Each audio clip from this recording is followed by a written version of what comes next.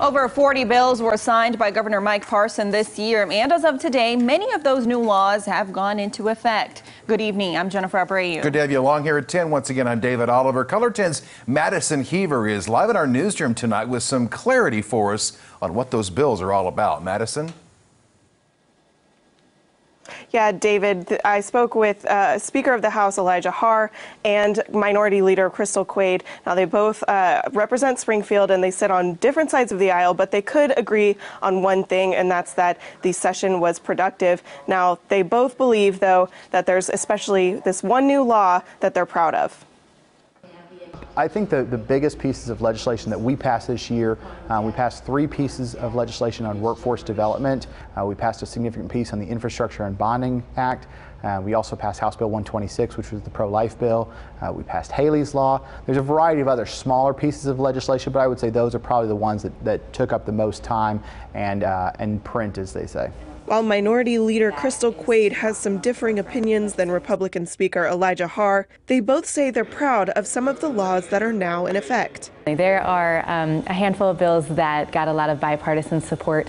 Uh, we saw some around um, human and sex trafficking that uh, was sponsored by both sides of the aisle. They both were supportive of Hailey's Law. It updates the Amber Alert system, reducing the amount of time it takes to send out an alert and it requires the board to meet once a year to discuss changes to the system. Obviously, the story of Hailey is something that has been deeply impactful to everybody in the Springfield community. Because of what happened, some members of our local delegation have been attempting to update the Amber Alert system. That's Representative Curtis Trent, who also represents Springfield and Quade. The legislation took five years to become law after Hailey Owens, a 10 year old girl from Springfield, was abducted and murdered.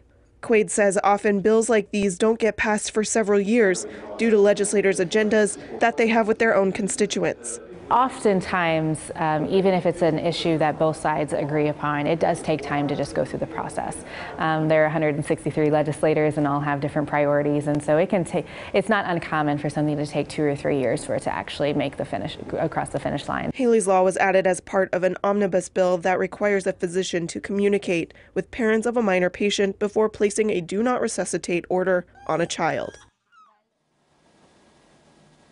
Now, in addition to uh, Hailey's Law, there are some other bills that became law today as well. Those include the law that reduces prison sentences for nonviolent crimes, the law that would allow uh, the Department of Revenue to revoke your license if it's determined that you were negligent in hitting a worker in a work zone or a first responder, and some licensing fees increased for driver's licenses, operators' licenses, and vehicle title transfers. Now, there are a couple of laws that did not go into effect today. That includes the abortion ban um, uh, at eight weeks uh, of pregnancy, and also the law that would limit local government from making uh, restrictions against big industrial farms. Back to you guys.